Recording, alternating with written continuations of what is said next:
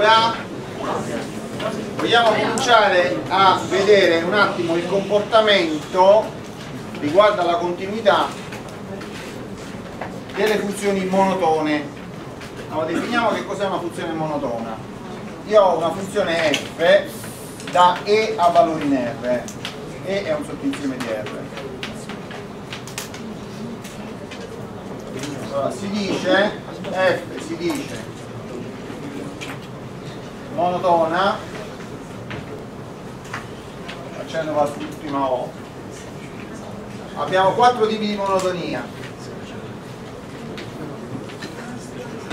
Allora, strettamente crescente. Se solo se per definizione x1 minore di x2 implica f di x1 minore di f di x2 per ogni x1, x2 appartenente al cioè mi metto in E, prendo due punti. Se mi sposto verso destra la funzione cresce. Debolmente crescente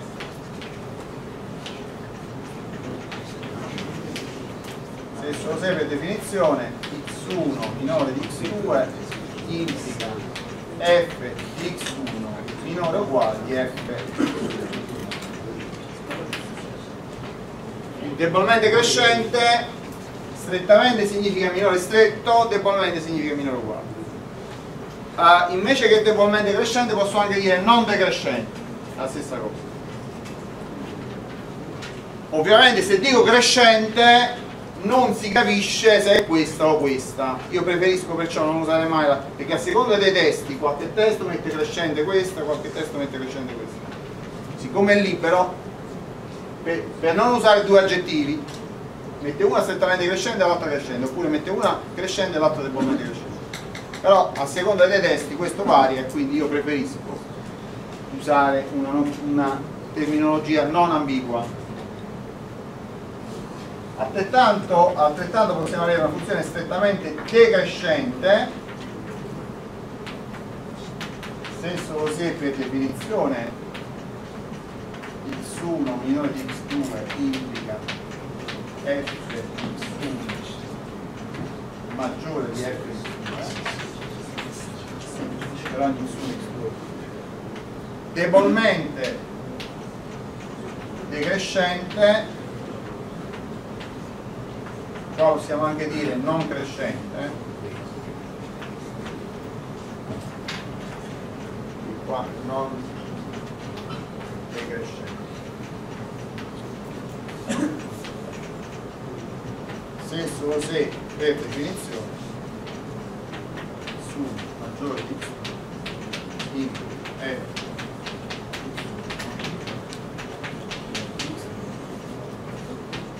sempre in E ora vediamo un po' se io prendo la funzione 1 su x esempio f di x uguale 1 su x x appartenente a r meno 0 mi sapreste dire se questa funzione è crescente, debolmente crescente, com'è?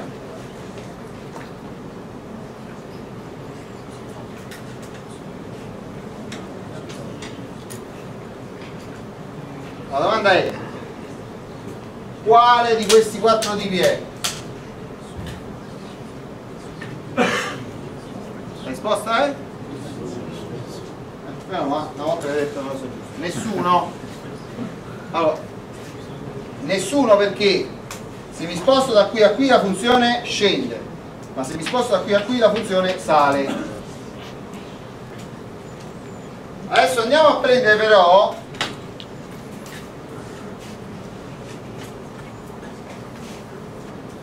come dominio prendiamo 0 più infinito significa prendiamo 0 più infinito dobbiamo cancellare questo pezzo in la funzione è solo questa stavolta la funzione com'è?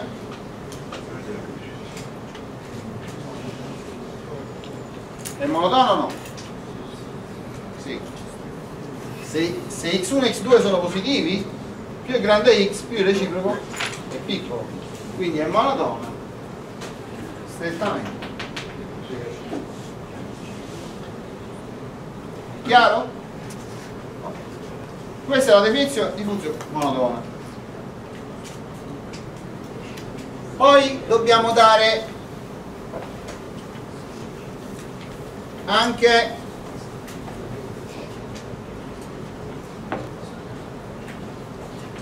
un'altra definizione. Prendiamo x con 0 punto di accumulazione per e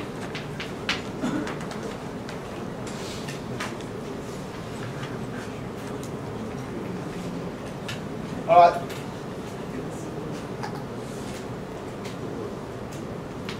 eh, diciamo per e intersecato meno infinito x con 0 cioè togliamo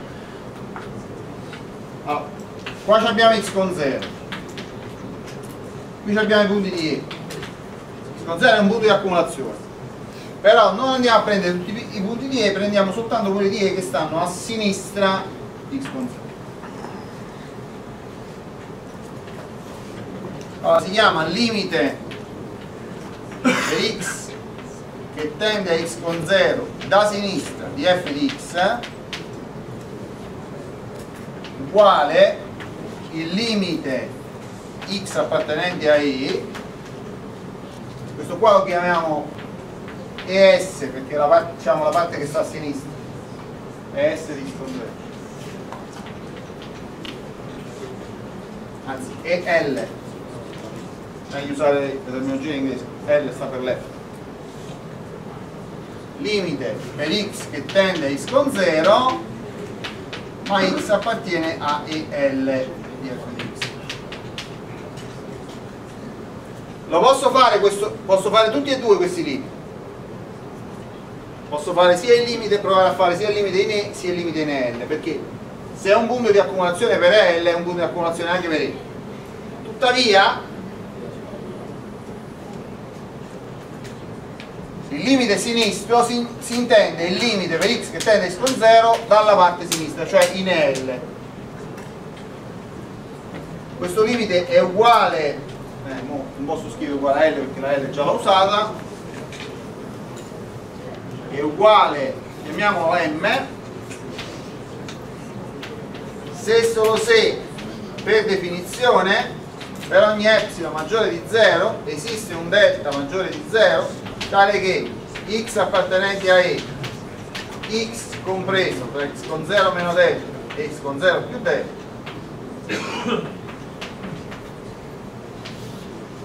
implica f di x. Meno n è minore di f quindi applicare se vi ricordate allora, x con 0 abbiamo preso un punto di accumulazione. Quindi nei punti di accumulazione diciamo il limite si può fare. E come si faceva? si faceva qua x con 0 no x con 0 si faceva x compreso tra x con 0 precedente e x con 0 più delta x diverso da x con 0 x appartenente a y stavolta siccome mi devo avvicinare solo dalla parte sinistra per ogni epsilon esiste un delta tale che se x è compreso tra x con 0 meno delta e x con 0 x diverso da x con 0 non c'è più bisogno perché è minore di x con 0 quindi è diverso da x con 0 e x appartenente a y in queste condizioni deve f di x meno m deve essere questo è il limite sinistro e meglio, diciamo, la cosa più che si capisce meglio è questa scrittura qua. Perché è come quella del limite di funzione soltanto da una parte se no qua state scrivendo solo dalla parte sinistra. Però diciamo poi se lo dovete scrivere esplicitamente dovete comunque scriverlo ovviamente se lo faccio dalla parte destra cosa cambia? Qua avremo, che ne so, x con 0 più infinito. 0 finito più infinito. Questo lo chiamiamo E con R. Il limite lo chiamiamo limite destro. Quello che cambia qua sarà x compreso tra x con 0 e x con 0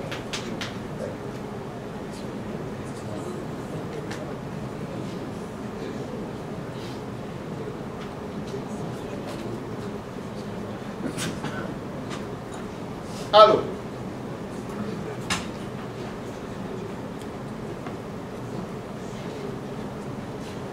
Statemi a seguire. Prendete un punto di accumulazione. Quindi ci posso fare limite allora io ho vari casi. Posso fare il limite. Può darsi che posso fare il limite solo da sinistra. Questo nel caso in cui E stava. Se questo coincide con E il limite lo potevo fare solo da destra se quello di prima coincideva con E il limite lo potevo fare solo da sinistra. E l'altro era vuoto. Se E sta solo a sinistra. Per esempio prendete l'intervallo 0,1 eh, prendete 0 nel punto 0 il limite ce lo posso fare da sinistra? no perché quando prendo l'intervallo 0,1 e in terza con la seminetta me ne infinito 0 aperta mi viene vuoto invece quindi per esempio se prendo l'intervallo 0,1 qua allora in un punto intermedio il limite lo posso fare da destra e da sinistra in 0 lo posso fare solo da destra in 1 lo posso fare solo da sinistra ora che succede?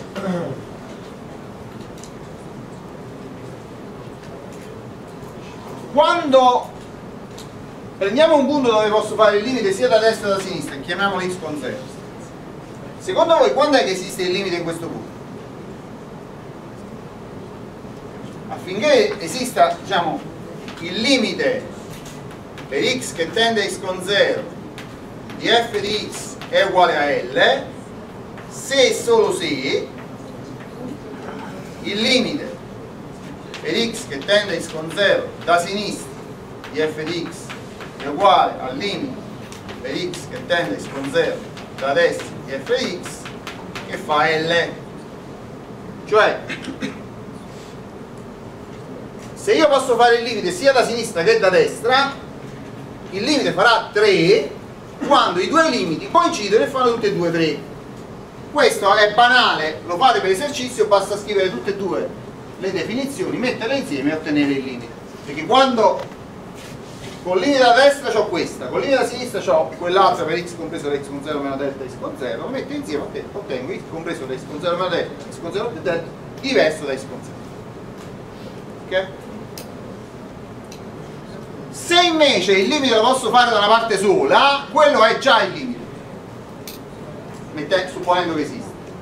Se il limite lo posso allora se il limite in 0 fa 3 anche da destra anche il limite in 0 fa 3 basta. Il limite in 0 è da destra. Quindi qua non ritengo di dover scrivere alcunché perché è tutto diciamo corrisponde perfettamente all'intuizione. Cioè se io in un punto posso fare il limite sia da sinistra che da destra il limite quando è che esiste? quando i due limiti coincidono. Se uno dei due non esiste il limite generale non esiste. Se uh, i due limiti sono diversi il limite non esiste. Se da sinistra tende a 3 da destra tende a 5 il limite non c'è. Però possono esistere limiti sinistra e destra possono fare 3 e 5 chiaro? Uh, viceversa, se il limite fa 7 in quel punto, eh, il limite da sinistra deve fare 7, il limite da destra deve fare 7. Ok. Allora, fatte queste dovute premesse, adesso andiamo a vedere che succede con una funzione monotona.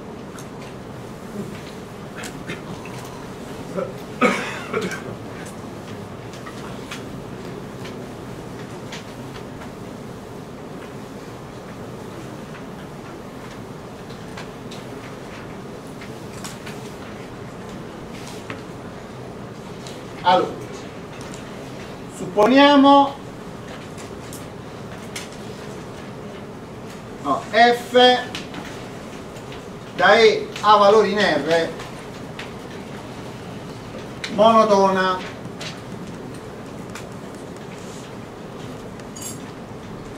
Monotona debolmente crescente ovviamente un teorema analogo si potrà dimostrare per le funzioni monotone debolmente decrescenti allora, supponiamo che x con 0 sia appartenente ad E e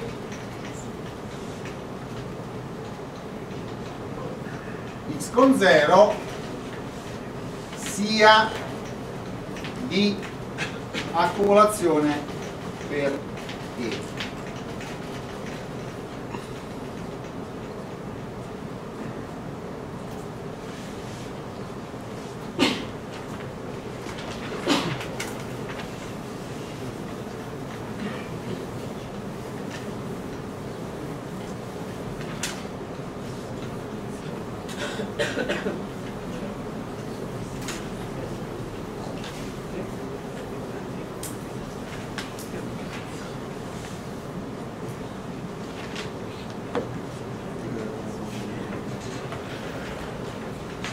Tal caso, qual è la tesi?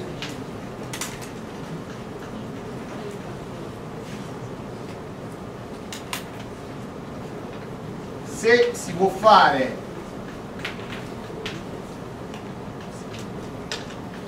il limite per x che tende x con 0 da sinistra di f di x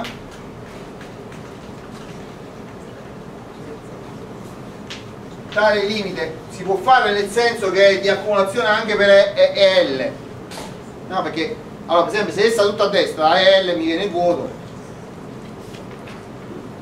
Tale limite esiste?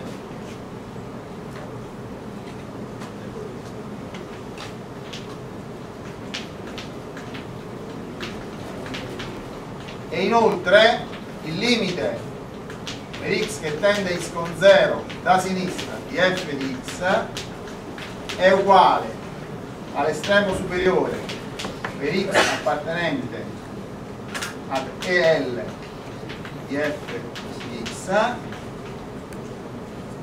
si può fare vuol dire x con 0 è di accumulazione per EL uguale E intersecata meno infinito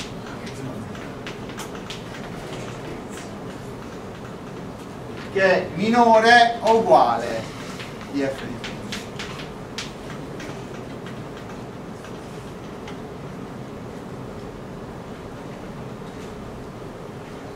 Se invece si può fare, uno dei due si può fare sicuramente, il limite che x con 0 era di accumulazione per e, magari si possono fare tutti e due.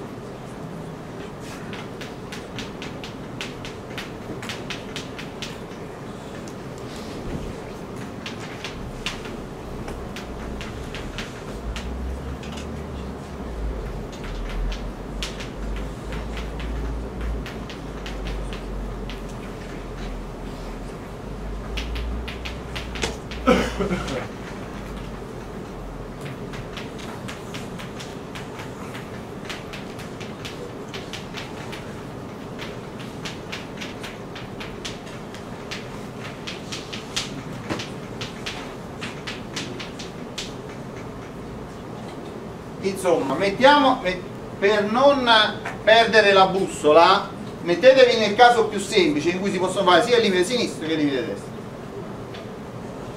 Allora dovrete avere che il limite sinistro è uguale all'estremo superiore fatto su tutti i punti che stanno a sinistra comunque non supera il valore della funzione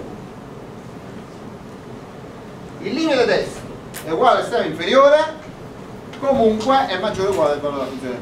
Cioè una funzione monotona in un punto c'ha un limite sinistro c'ha un limite destro ce li ha perché ho detto esiste. E il valore della funzione del punto sta qua in mezzo.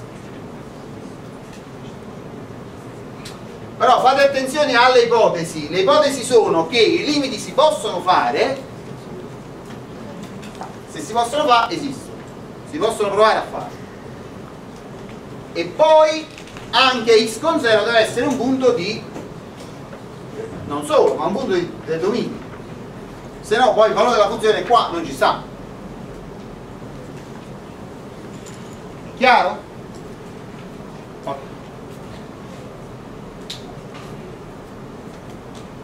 Prendete questa funzione qua.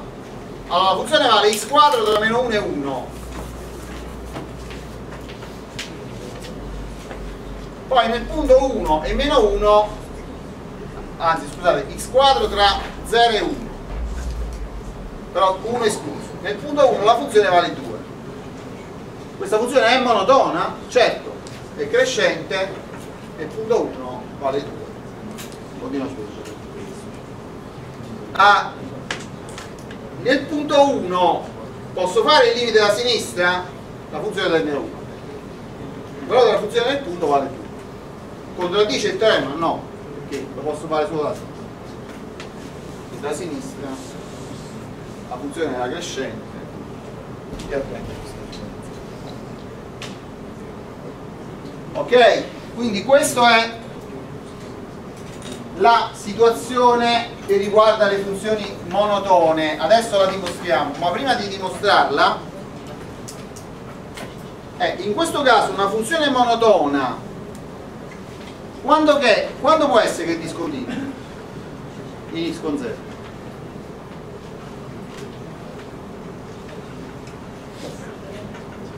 ah, in x con 0 si può andare a verificare se è continuo o no perché il valore x con 0 è un punto di x quando è che è discontinuo in x con 0?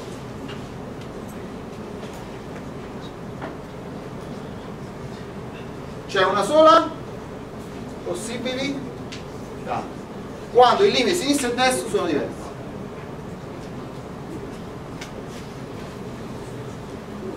Perché? Se limiti sinistro e destro sono uguali abbiamo detto che il valore della funzione sta in mezzo. E quindi il limite a destra è uguale al limite sinistro. Sono uguali al limite e il valore della funzione è uguale al valore del limite. Se invece sono diversi il limite da sinistra è minore del limite da destra stiamo parlando in funzione del momento di crescente che succede? e qua x con 0 il valore della funzione di x con 0 prima di tutto non lo posso mettere uguale a tutti e due. Ma secondo il limite della funzione di x con 0 non esiste perché da sinistra e da destra sono di diversi. Quindi la funzione non può essere continua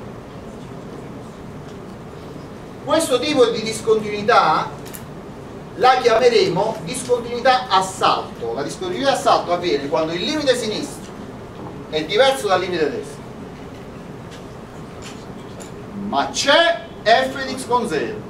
Perché se no, se vi ricordate la funzione 1 su x, era a salto pure questa qua. Qua il limite sinistro fa l'infinito, il limite destro fa più infinito. In qualche modo potremmo considerarla a salto, anche se i limiti non sono finiti. Però il punto è che se ci metto 0 nel dominio la funzione è discontinua se non ci metto 0 nel dominio la funzione non è discontinua perché non devo verificare. Quindi stiamo parlando sempre di un punto del dominio. Allora se ho una funzione monotona il limite sinistro e il limite destro non coincidono in questo caso la funzione saliva quindi così se la funzione scendeva i limiti erano così. Se non coincidono allora la funzione è discontinua perché il, punto, il valore di f di sco 0 non può coincidere ovviamente con tutti e due. È solo se, perché se invece coincidevano allora il valore della funzione stava in mezzo e quindi era 1 quindi praticamente le funzioni monotone possono avere il corollario di questa cosa è che le funzioni monotone possono avere solo discontinuità a salto chiaro? le funzioni monotone possono avere questa cosa la ripeteremo eh? non è che però uno se lo comincia a mettere da parte una funzione monotona può avere solo una discontinuità a salto ok?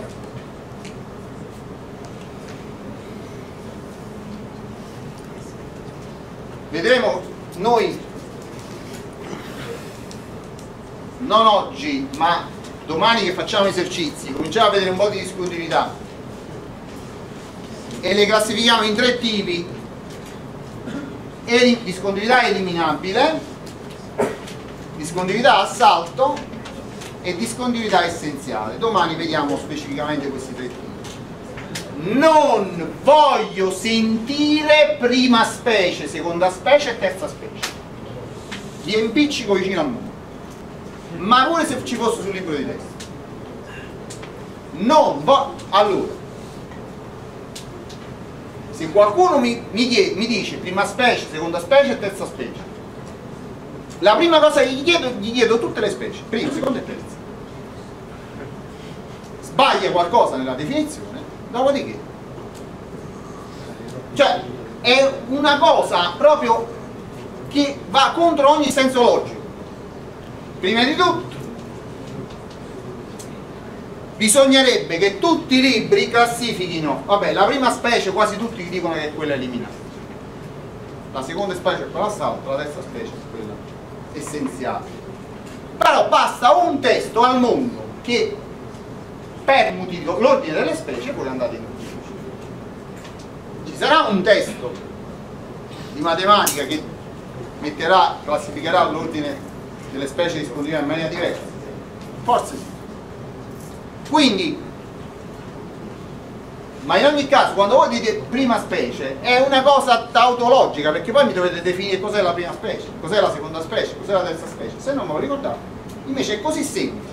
Disponibilità eliminabile che significa che il limite ci sta ed è diverso dal valore del punto discontinuità a salto che vuol dire che il limite sinistro è diverso dal limite destro. E il valore del punto può fare quello che gli pare ma non può essere uguale discontinuità essenziale che vuol dire? discontinuità essenziale vuol dire che il limite non ci sta almeno da una parte e quindi il limite complessivo non ci deve essere chiaro? invece il valore della funzione del punto ci deve essere questo vuol dire vuol dire disponibilità essenziale, disponibilità a salto, disponibilità eliminata. Cioè è una cosa così semplice, non va complicata dove non è necessario. Ok, adesso torniamo alle nostre funzioni monotone. Andiamo cioè a dimostrare questo che abbiamo appena scritto.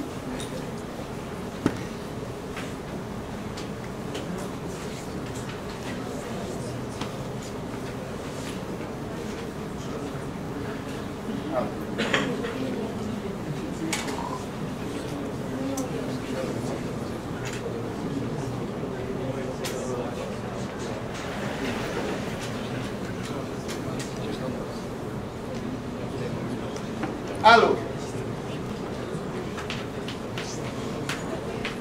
per semplicità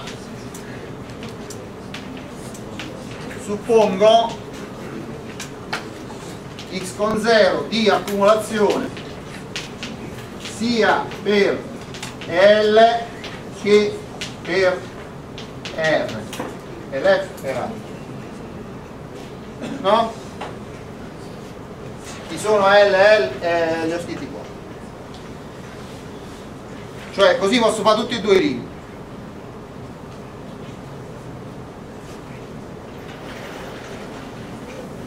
ovviamente se non è così il ragionamento lo fate soltanto dalla parte dove lo potete fare.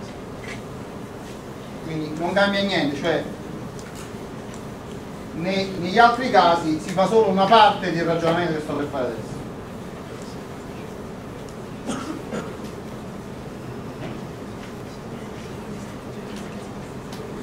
Allora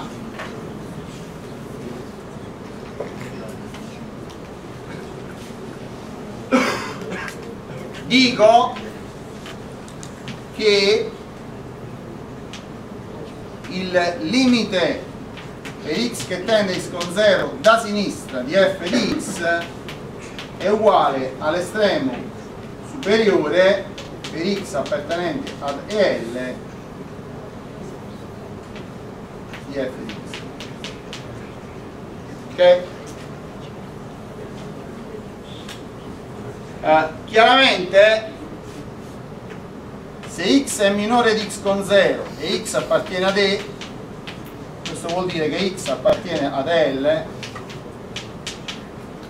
questo vuol dire che f di x è minore o uguale di questo estremo superiore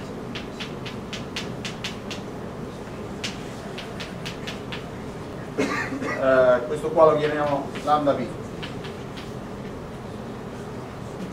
questo vuol dire eh, vabbè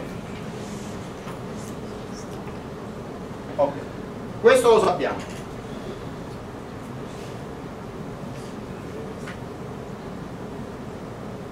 Poi adesso diciamo sia epsilon maggiore di 0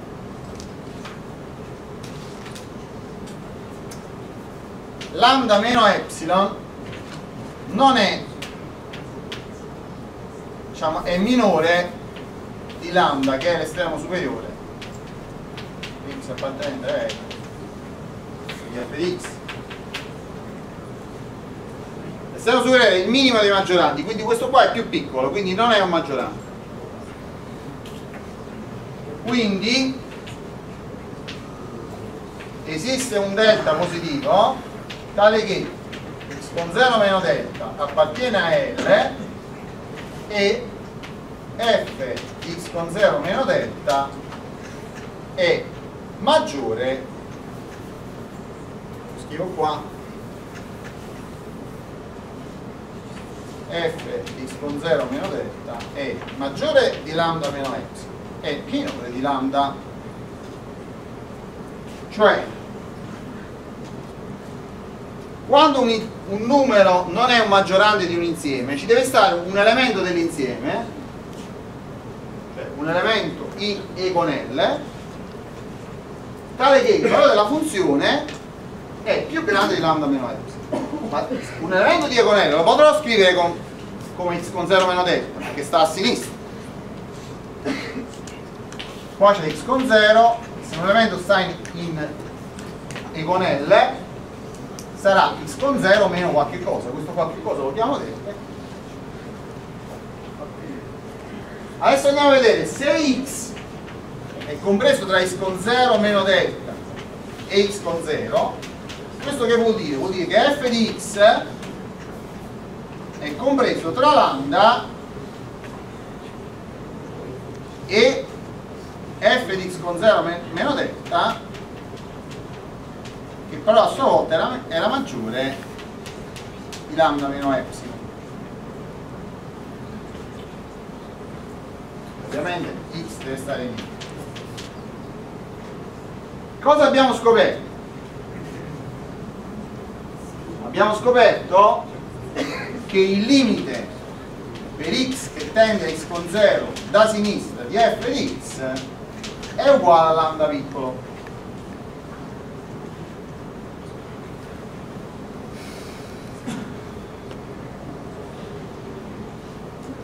questa l'avevo scritta per evidenziare il fatto che il limite quando lo andremo a fare non può superare lambda piccolo però qua invece si capisce che quel limite se prendete, andate a rivedere la definizione di limite da sinistra per ogni epsilon esiste un delta tale che se x è compreso con 0 meno delta 0 x appartenente a d f di x è compreso tra lambda meno e lambda e, e lambda.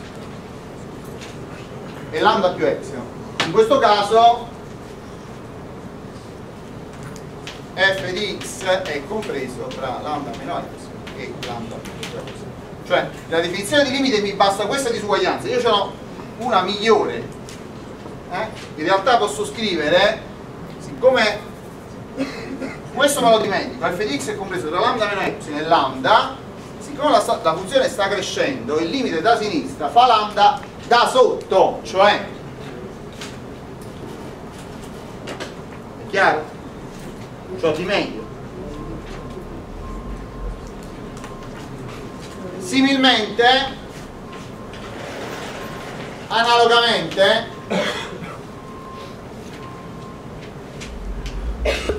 il limite per x che tende a x con 0 da destra df di x è uguale all'estremo inferiore su e con r di f di x che è uguale a lambda grande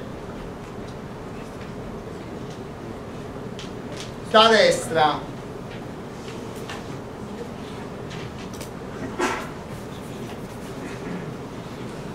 Uh, lo riscrivo di qua questo è uguale a lambda grande da destra nel senso che come numero questo è uguale all'inf che è uguale a lambda. Poi quando parlo di limite il limite da destra è uguale a lambda da sopra cioè quando andrete a dimostrare la disuguaglianza lo fate dalla parte destra voi avrete che per ogni epsilon esiste un delta tale che se x è compreso tra x con 0 e x con 0 più delta allora f di x sarà compreso tra lambda oh, qua c'è minore uguale e qua c'è minore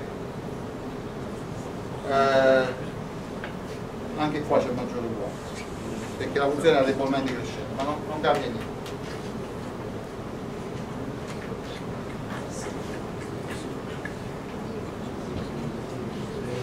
Ok. Compreso tra lambda e lambda meno epsilon qua sarà compreso tra lambda e lambda più quindi quando lo fate da destra il limite su lambda grande ci arriva da sopra. Siccome lambda grande è più grande di lambda piccolo abbiamo finito. Il limite da destra o. Anzi lambda grande è più grande di f di x con 0 che è più grande di lambda piccolo. Per quale motivo? F di x con 0 è minore di tutti gli f di x che stanno a destra. Per x che sta in E con R. Quindi chiaramente è minore o uguale all'estremo inferiore di questo. F di x con 0 è maggiore o uguale di tutti gli f di x per, x che stanno a sinistra. Quindi è maggiore o uguale all'estremo superiore di sinistra mettendo insieme tutte queste informazioni possiamo dire che il teorema è concluso. Quindi che succede? se una funzione cresce sia pure debolmente se in un punto del dominio posso fare il limite sia da sinistra che da destra il limite mettiamo che il limite da sinistra faccia 3 e il limite da destra faccia 5 che so? che il limite cosa so? che il limite da sinistra ci arriva a 3 da sotto il limite da, destra ci arriva a 5 da sopra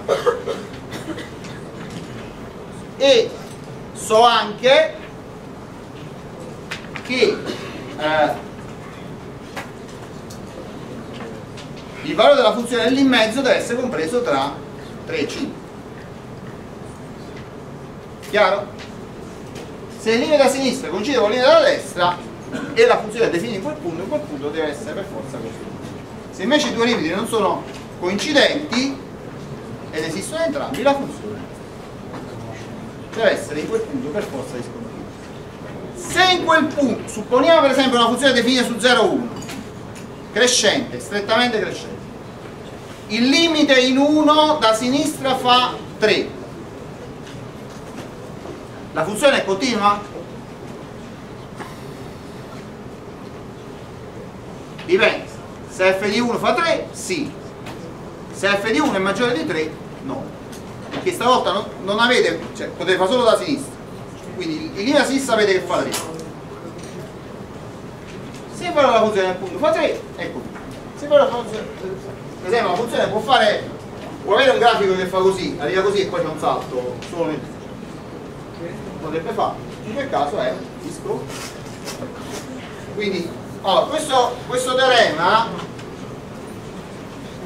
è uno di quei teoremi che si capisce meglio di come si, riesce, si riesca a scrivere perché dice cose piuttosto semplici però quando uno le scrive deve per forza diciamo, scrivere un po' di dettagli. Sostanzialmente vi sta dicendo che le funzioni monotone possono avere solo un tipo di discontinuità che poi chiameremo discontinuità a cioè il limite da sinistra è diverso dal limite da destra. La funzione se sta salendo il limite a sinistra è più basso il limite a destra è più alto